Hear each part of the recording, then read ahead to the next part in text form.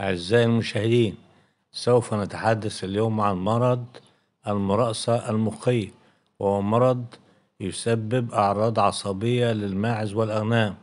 سوف نتحدث عن أسبابه وأعراضه والوقاية منه وعلاجه.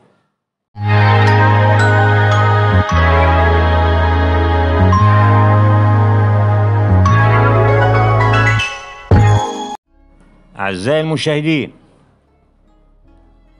بتتم العدوى بابتلاع البيضات التي تخرج مع أبراز الكلاب أو الثعالب وتلوث الغذاء وماء الشرب وفي الأمعاء يتخلص الجنين من الجدار الخارجي للبيضة ويخرج جنين ذو ستة أشواك ثم يقوم باختراق جدار الأمعاء ويصل إلى أحد الأوردة الصغيرة في المخ والنخاع الشوكي.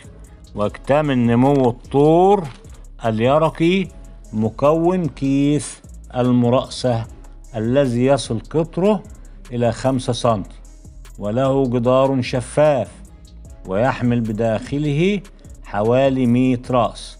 وهذه الأكياس هي مصدر العدوى في الكلاب والثعالب.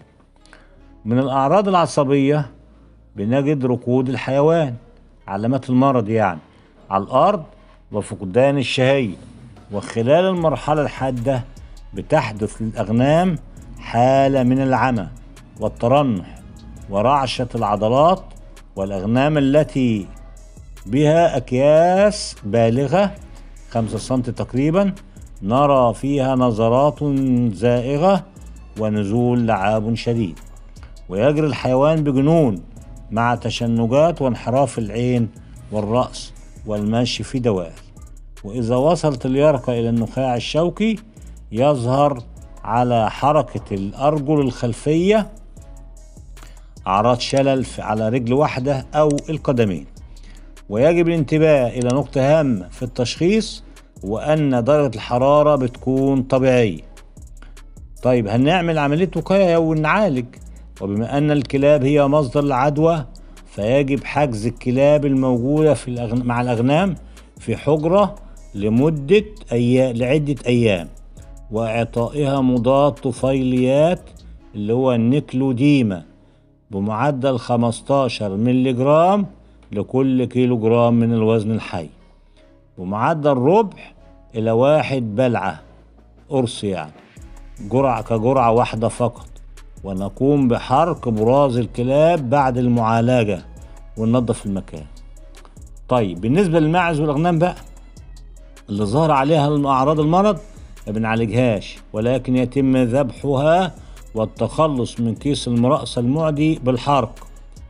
ممنوع نأكل راس فيها مصابة للكلاب ويعالج بقى طب بقى القطيع بقى عاوزين نعمل له قاي. هنديله مركب برضو النيكلوديما أو ال niclosamide هو اسمه niclosamide الشركة نيكلوديما. ومعدل 75 ملي جرام لكل واحد كيلو جرام من وزن الجسم الحي وبمعدل جرعة واحدة. والسلام عليكم ورحمة الله وبركاته. أخيكم جودة فرج. قناة فرج فارم لسلات الماعز والأغنام. والسلام عليكم ورحمة الله وبركاته.